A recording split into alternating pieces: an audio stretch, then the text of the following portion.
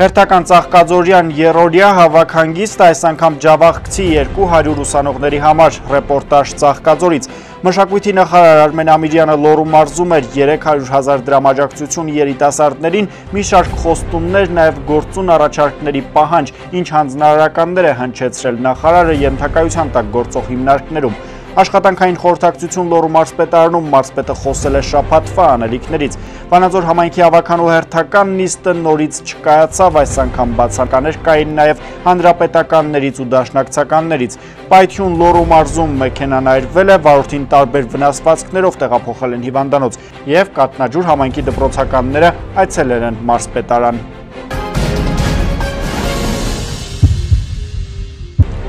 Ֆորտունայի եթերում իր աշխատանքն է շարունակում մոլորակ լրատվական ծառայությունը գլխավոր թողարկմամբ։ Բարև ձեզ։ Եվ այսպես հերթական ծաղկաձորյան երորյա հավաքանգիստ այս անգամ ջավախքից 200 ուսանողների համար։ Ռեպորտաժը ծաղկաձորից է ազգային ժողովի պատգամավոր Կարեն Կարապետյանի հերթական նախաձեռնության մանրամասներով։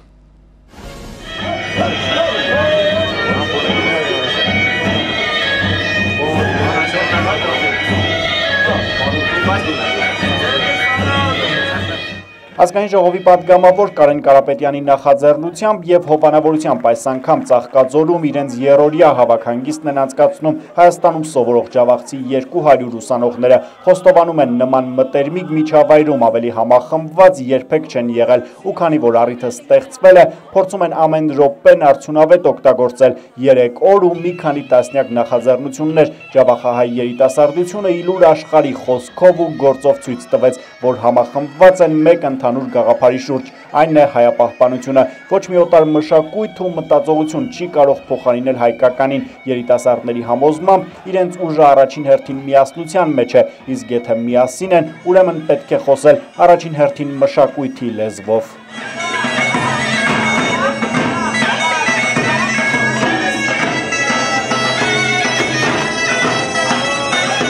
Երիտասարդներին հայտնի արդեն ավանդական ու սիրված ծաղկաձորյան երորյային տարիների ընթացքում մասնակցել է շուրջ 3000 երիտասարդ, իսկ զբան է Կարեն Կարապետյանը այս նախաձերնությամբ նպատակ ունի երիտասարդներին առավել համախմված տեսնել հնարավորություն տալ նոր գաղափարներով ու ծրագրերով հանդես գալ։ Այս երորյայի դեպքում պատկերը փոքրինչ այլ է հիմնական նպատակներին զուգահեռ ազգային ժողովի падգամավորը ցանկանում է հնարավորությունների սահմաններում նպաստել հայապահպանությանը, ճավախահայությանը նեցուկ ապավեն լինելուն, կրթամշակութային ծրագրերին աջակցելուն։ Այս նպատակով մի շարք ծրագրեր են կյանքի կոչվել, մասնավորապես պարգևատրվել են Հայաստանում սովորող 100-ից ավելի բարձր առաջադիմություն ունեցող ջավախցի ուսանողներ, ջավախքում աշխատող մի քանի տասնյակ հայ ուսուցիչներ, բավարարվել են նաև Հայաստանում սովորող ջավախցի բազմաթիվ ուսանողների ուսման վարձի հարցում աջակցություն ցուցաբերելու խնդրանք նամակները, բազմիցս աջակցություն է ցուցաբերվել ջավախքում տերյանական օրերի անցկացման միջոցառումներին եւ այլն Մեր հանգիստը շատ ակտիվ է անցնում, շատ ուրախ եմ, որ եկել եմ այս հանգստին եւ մասնակցում եմ։ Շատ հետաքրքիր ժամանակ ենք անցկացնում, նոր ծանոթություններ, նոր ընկերություններ, նոր մարդիկ, նոր բնավորություններ, շատ հետաքրքիր եւ գունավոր հանգիստ ունենք։ Պատմության մեջ երևի թե սա առաջի դեպքն է, որ այսպիսի մասշտաբներով, այսինքն հավաքվում են 200 ջավախցի ուսանողներ ու հանդիպում ենք մի տանիքի տակ, այսինքն այս պարագայում բնականաբար ծաղկաձորում ու պատկերացրեք շատ հաճելի զգացողություն է, նույնիսկ դերևս երբ չէինք եկել եկել եւ արդեն նոր-նոր էինք ճանոթանում, հավատացեք շատ ջավախցի ուսանողներ ունեինք, որ չէինք էլ ճանաչում ու հիմա մենք կամած-կամած շփվում ենք իրարից հետ։ Այն փաստը, որ այստեղ հավաքված են բոլոր հավաքվածները բոլորը ջավախցիներ են, առաջին հերթին մեր համար համախմբման առիթ էր։ Երորյա հավաք հանգստի ընթացքում երիտասարդներին պատգամավոր Կարեն Կարապետյանի ողջունի խոսքը փոխանցեց պատգամավորի գրասենյակի ղեկավարը։ Նույն օրը երիտասարդների համար առանձնակի կարևոր էր, քանի որ քննարկվեցին Վրաստանի թուրք-ադրբեջանական հարաբերությունների պայմաններում հայերի դերն ու ճակատագիրը, սահմանների գրաքննությունը, հայոց պատմության դասագրքերի մուտքի արգելքը, հայերենի դասավանդման խնդիրները Ջավախքում, հայկական եկեղեցիների պահպանության հարցը Վրաստանում եւ այլն։ Կառուցողական զրույցների արդյունքում արդյունքում երիտասարդները խոստացան առավել ակտիվ լինել, հանդես եկան մի շարք առաջարկներով։ Մեկ խոսքով այս համախմբման արդյունքն այնպիսին էր, ինչպիսին կցանկանար տեսնել Կարեն Կարապետյանը։ Շատ ուրախ է անցնում կազմակերպված օրակարգը շատ հաջող է կազմած ջավախցի ուսանողների կողմից եմ ես ուզում շնորհակալություն հայտնեմ նմանատիպ հանգիստ կազմակերպելու համար։ արտակարգա։ Առավել եւս, եթե արդեն ընկերանում ես, այդ սկզբի պահը մի փոքր բան էր, խոճապի պահներ, որ նոր ես եկել, չես հարմարվում, չես տեղավորվում, բայց այդ ընդհանրապես մի կես ժամ տևեց, ընթացքում արդեն արտակարգ է ամեն ինչ շատ լավ շրջապատ, որոնց հետ կարելի է ու վստահ եմ, որ հետագայում էլ ջավախքում էլի կշարունակենք շփվել ու ջավախքի խնդիրներին գուցե միասին կարողանանք ինչ-որ լուծում գտնել ապակայում։ 200 հոգի ջավախցիների մասնակցությունը, պատմական իրադարձությունը եւ բոլոր ջավախցի ուսանողների անունից հայտնում եմ շնորհակալությունը եւ երեխեքները նմանատիպ միջոցառումները կազմակերպելու համար։ Հայկական ազգային պարերի ուսուցում, թենիսի բաց առաջնություն, ինտելեկտուալ և այլ խաղեր, ազատ ժամանց, կառուցողական հանդիպումներ, փորձի փոխանակում և այլն, հագեցած երորյայի ավարտին պարգևատրվում են տարբեր ստուգատեսների առաջատարները։ Տեղեկացնենք, որ ավելի վաղ ծաղկաձորում իրենց երորյա հանգիստն են անցկացրել Լոռումարզի Թումանյանի, Ստեփանավանի եւ Սպիտակի տարածաշրջաններից 200 երիտասարդներ։ Ուզում եմ շնորհակալություն հայտնել ազգային ժողովի պատգամավոր Կարեն Կարապետյանին նման հաճելի միջոցառում կազմակերպելու համար, որը թույլ է տալիս մեզ երիտասարդներից գրկվել եւ մասնակցել հաճելի ինտերակտիվ քննարկումներին եւ հայտնել մեր կարծիքը։ Կարեն Կարապետյանը երիտասարդներին խիստ ուշադրության կենտրոնում է պահում եւ այսպիսի հավաքներ հաճախ է կազմակերպում։ Իհարկե շատ բան ենք սովորում, միմյանց հետ շփվում ենք եւ այս ուխտագնացությունն էլ ավելի է ամրապնդում մեր ընկերությունը Հաշվի առնելով, որ արջևում ազգային ժողովի ընտրություններ են տաշիր բարեգործական հիմնադրամի հոգաբարձունների խորուրդը որոշել է մինչև ընտրությունների ավարտը ժամանակավորապես դադարեցնել հիմնադրամի ծրագրերը։ Ազգային ժողովի падգամավոր Կարեն Կարապետյանի նոր ծրագրերի մասին դրանք վերսկսելուն պես հանրությունը կտեղեկացվի։ Սարգիս Գոքորյան, Հերմինե Յավրյան, Արեն Ավակյան, Մոլորակ, Ծաղկաձոր։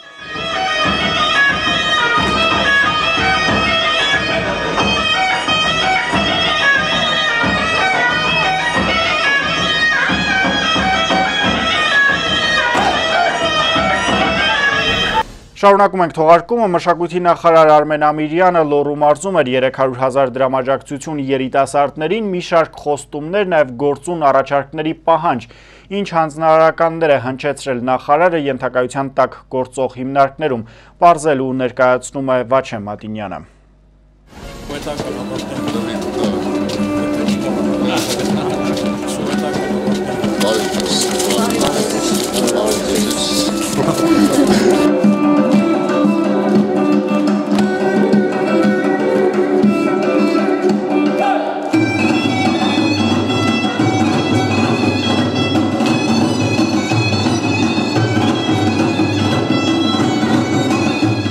Ստեփանավանի Ստեփան Շահումյանի տուն-թանգարանում մշակույթի նախարար Արմեն Ամիրյանին ավանդական պարով, աղուհացով դիմավորեցին ու շտապեցին ծանոթացնել շենքային վատ պայմաններին։ Մշակույթի նախարարության ենթակայության տակ գործող այս թանգարանի շենքում գործում է նաև քաղաքի մշակույթի եւ ժամանցի կենտրոնը, որի գործունեության համար նախարարությունը տարեկան 33 միլիոն դրամ է հատկացնում։ Այդ գումարը բավարարում է աշխատավարձերին եւ ընթացիկ ծախսերին, իսկ շենքային պայմանների բարելավման, ջերուսման համակարգի տեղադրման եւ տանիքի նորոգման համար նախահաշվով անհրաժեշտ է մոտ 150 միլիոն դրամ։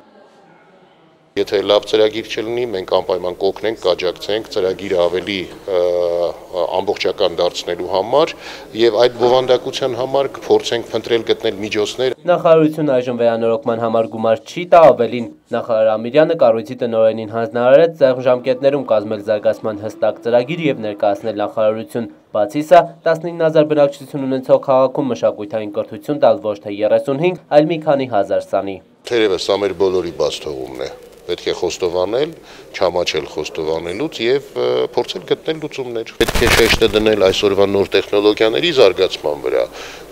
օրինակ Թումոյի հետ աշխատելով։ Գուցե պետք է պետք է շեշտը դնել շախմատի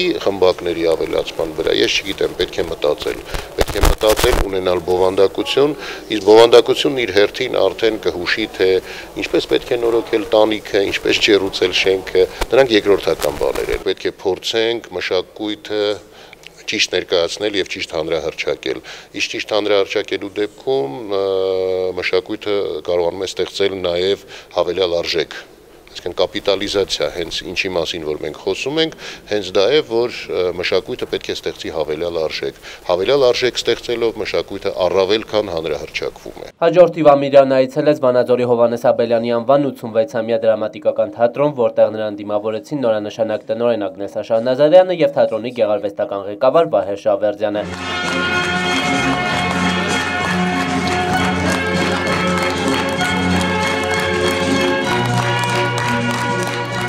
Այստեղ եւս նախարարությունից աջակցություն են ակնկալում, մասնավորապես ցանկանում են նորից հանդես գալ աշնանարև ներկայացումով եւ նվիրել այն Մաթեոսյանի 80-ամյակին։ Միջոցներ են պետք նաեւ Աբելյանական փառատոնի անցկացման համար։ Ավելի ուշ ցանկանում են միջոցառում կազմակերպել Հովանես Թումանյանի 150-ամյակին նվիրված։ Ըստ Շավերդյանի երեք դերասան էլ արժանի եւ վաստակավոր արտիստի կոչում ստանալուն։ Մեկ խոսքով, ինչպես թատրոնում են ասում, մի փոքր աջակցություն են ուզում։ Խնդրում ենք մի քիչ այս այս օգնություն։ Իմացեք, որ մենք ընկերներ եւ բարեկամներ ենք եւ մենք ուզում ենք, որ միմյանց կողք կողքի կանգնելով, միմյանց ցավն ու դժվարությունը իմանալով եւ ձեռք մեկնելով չեզոքացնենք բոլոր այն խնդիրները, որոնք կարող են մեզ խանգարել մեր երազը իրականություն դարձնելու։ Շնորհակալ եմ, շնորհավորում եմ Ագնեսային, շնորհավորում եմ բոլորիս եւ մաղթում մեզ բարի երթ դեպի նոր ներկայացումներ փոքր բյուջեներով մեր թատրոնին կան արժանի դերասաններ, ովքեր վաղուց պետք է վաստակավոր արտիստի կոչումը ունենային եւ ես խնդրեցի այդ հարցում նույնպես մեր նկատմամբ լինել բարեհաճ եւ բազմաթիվ այլ հարցեր ես շատ ուրախ եմ որ նախարարը եկավ մեզ մոտ սա արդեն նրա երկրորդ այցն է իդեպ երբ նա նշանակվեց նախարար երկու օր հետո այնպես ստացվեց որ նա եղավ Աբելյանի անվան թատրոնում ես տեսա հրաշալի ներդաշնակություն եւ գեղարվեստական ղեկավարի եւ տնորենի եւ կոլեկտիվի միջև, իսկ սա ամենաոգևորիչն է եւ իհարկե նաեւ աշխատելու, ապագան կառուցելու եւ ապագայի ծրագրերը կառուցելու միտումներ տեսա եւ կոլեկտիվի մոտ եւ գեղարվեստական ղեկավարի եւ տնորենի։ Սա շատ ողջևորող է եւ համոզված եմ, որ մոտ ապագայում մենք Աբելյանի թատրոնի այն բարի ավանդույթները, որ թատրոնը կարողացել է ձևավորել մեր իրականության մեջ, մեր մշակութային կյանքում, մենք վերստին կվերահաստատենք այդ բարի ավանդույթները եւ կփորձենք ձևավորել նոր մշակույթ քաղաքում արդեն, համայնքում, թեպետ այո շատ սիրելի է թատրոնը իր ներկայացումներով, բայց կարծում եմ, որ պետք է մեծացնել այցելությունների քանակը, շատացնել ներկայացումները, նոր բեմադրություններ եւ այդ բեմադրությունները ոչ միայն ներկայացնել Վանաձորում, այլ նաեւ տանել դուրս հանրապետության այլ քաղաքներ, ինչու՞ չէ նաեւ հայաշատ գաղթօջախներ։ Նախարարը Վանաձոր էր այցելել նաև երկու ամիս առաջ։ Այն ժամանակ մի խումբ երիտասարդներ դիմել էին Վանաձորում գրադարան թեյարան հիմնելու համար աջակցություն ստանալու խնդրանքով։ Նախարարը խոստացել էր, որ եթե երիտասարդները իրենց բաժին գործ անեն, ինքը անպայման կաջակցի։ Տուն սրճարանի համար արդեն տարածքը կա։ Ամիրյանը 300 հազար դրամ ներդրում կատարեց ու խոստացավ աջակցել համապատասխան գրականության ձեռք բերելուն։ Ես անձնապես որպես Արմեն ձեզ 300 հազար դրամ փող եմ տալիս հա 300.000 դրամ ես ես վաղը փող եմ ուղարկում։ Մենք մարտի 8-ին բացում ենք։ Պայմանավորվեցին։ Այս 800 դոլարը արեց 300.000։ Ձեր բանը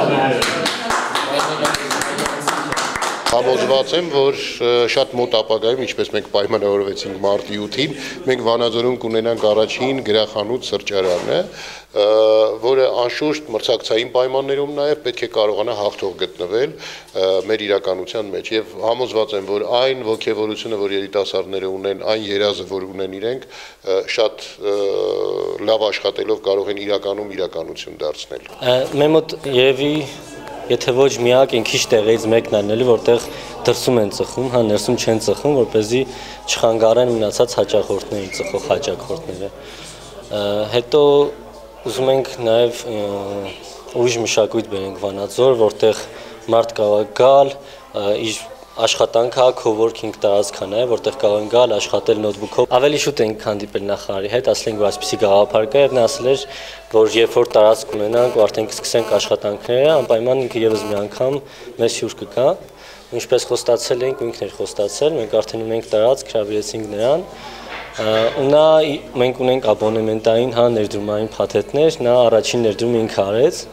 դրանով խրախուսելով մնացած ներդրողներին, այսինքն եթե ուրիշ մարդիկ էլ ցանկանան ներդնել, մենք շատ ճկուն համակարգ ունենք, ըստ որի կարող են 1 ամիս կամ մի տարի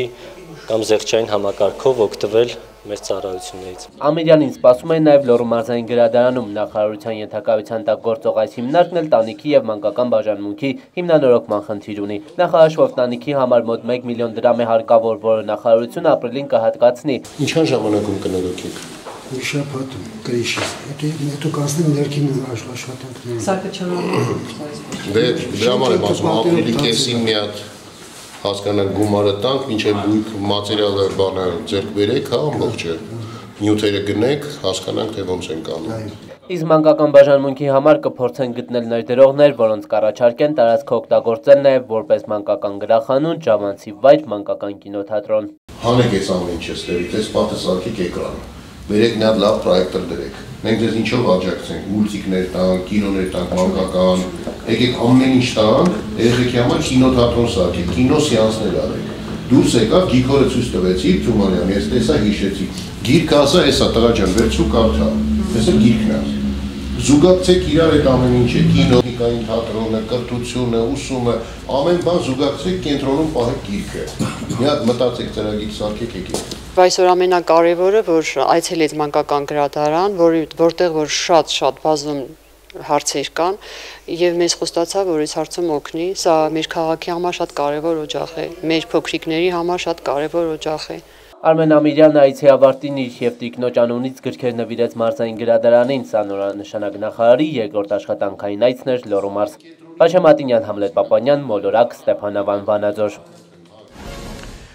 Աշխատանքային շաբաթը Լոռու մարզկենտրոնում, մասնավորապես մարզպետարանում, ինչպես միշտ սկսվել է աշխատանքային խորհրդակցությամբ, մարզպետը տվել է նոր հանձնարարականներ, դրանք ներկայացնում է Անահիտ Կարապետյանը։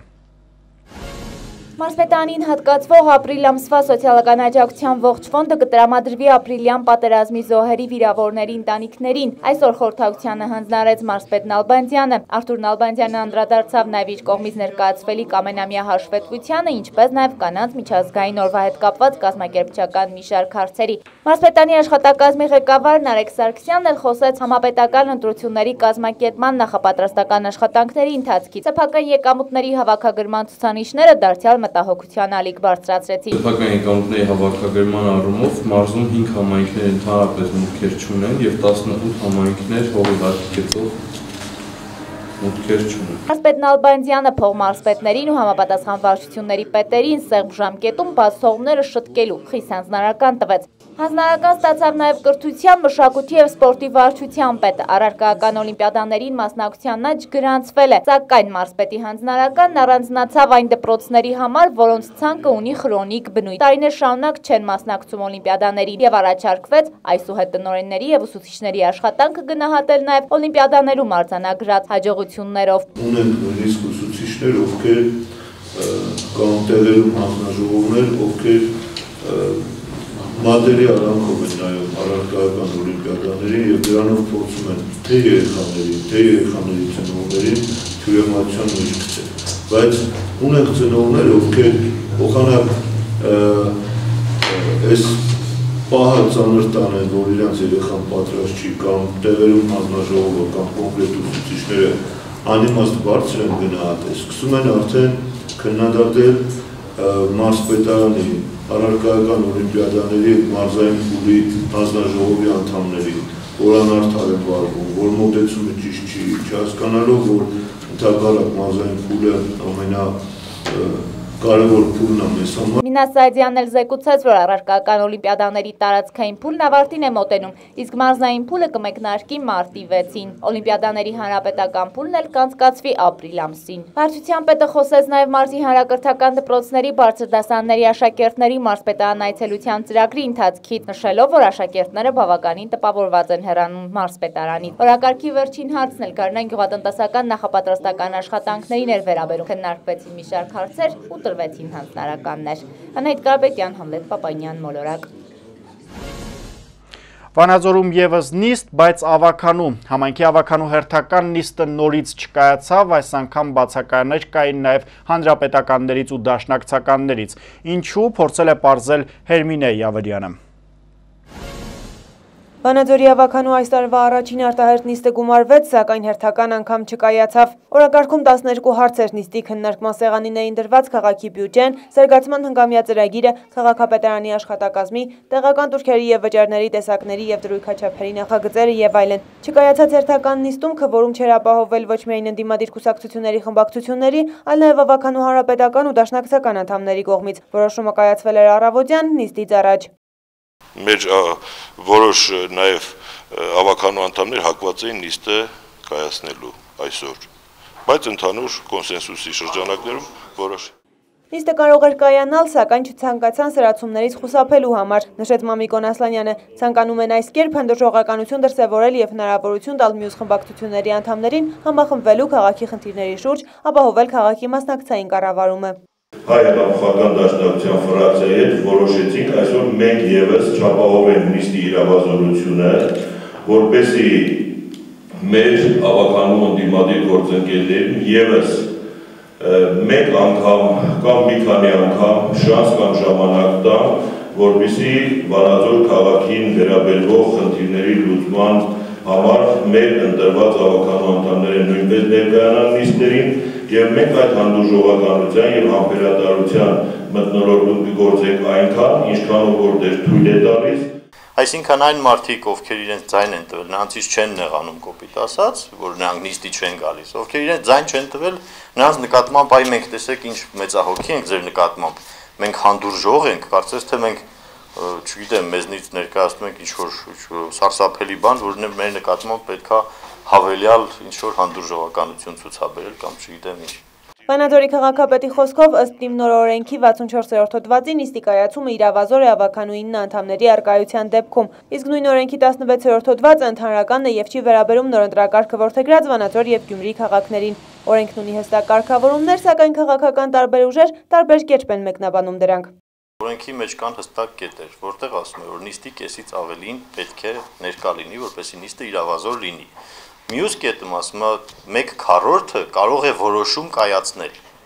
Որոշում կայացնել են դեպքում, երբ որ նիստը իրավազոր սկսվել է, ոչ թե ասենք պարզապես 9 հոգով հավաքվել եւ որոշում կայացնել։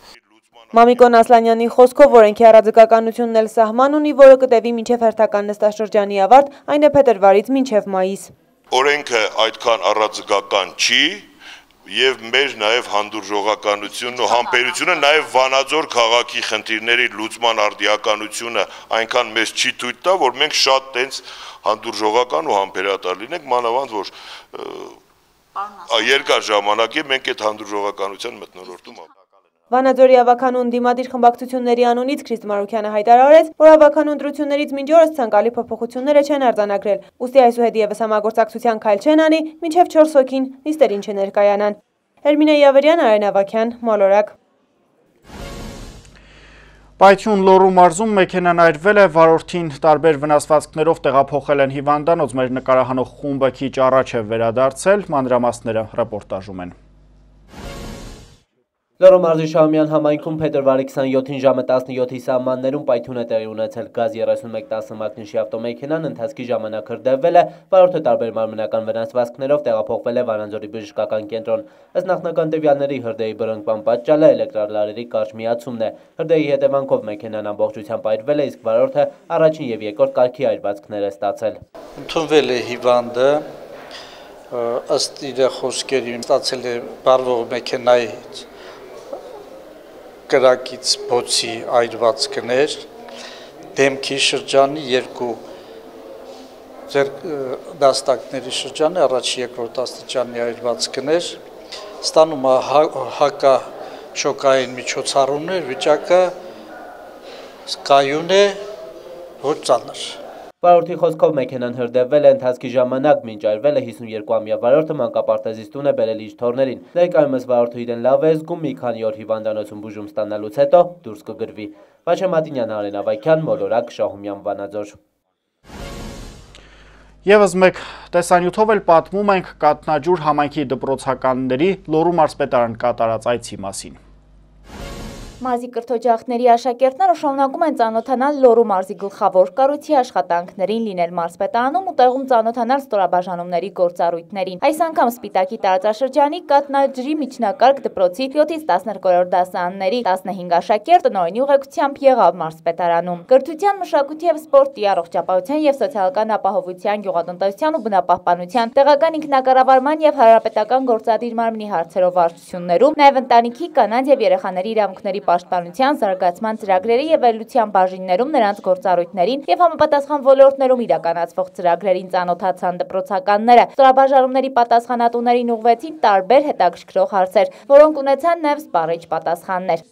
Արդեն դահլիճում նրանք իսվեցին նաև իրենց տպավորություններով, հարցեր ուղվեցին աշխատակազմի ղեկավար Նարեկ Սարգսյանին։ Իրենց ուզող տարաբնույթ խնդիրների վերաբերյալ, որոնք հիմնականում առնչվում են կրթության ոլորտին, նաև համայնքի խնդիրներին, գյուղատնտեսության, արդյունաբերության ոլորտներին, մարզում туриզմի զարգացման հերալեկարներին ու երեխաների իրավունքների պաշտպանության հարցերին։ Աշխատակազմի ղեկավարը երեխաներին ողջունեց մարզպետի անունից, համառոտ ներկայացրեց մարզպետանի աշխատակազմի գործունեությունը։ Աշակերտները մարզի գլխավոր կառույցում առաջին անգամ լինելով դարձյալ Հյալ այցելելու ցանկություն հայտնեցին։ Ես առաջի անգամ էի գտնվում մարզպետարանում ու ինձ մեծ իմ վրա մեծ տպավորություն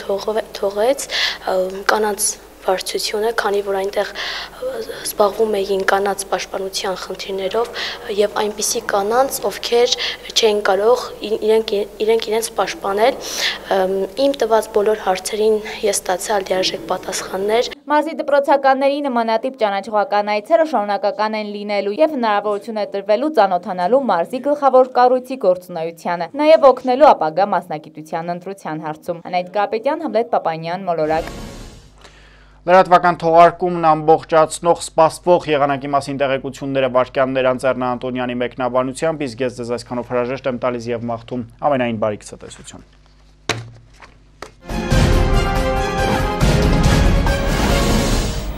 Բարև ձեզ եղանակի տեսության աջակիցն է Էվադենտ ստոմատոլոգիական կլինիկան։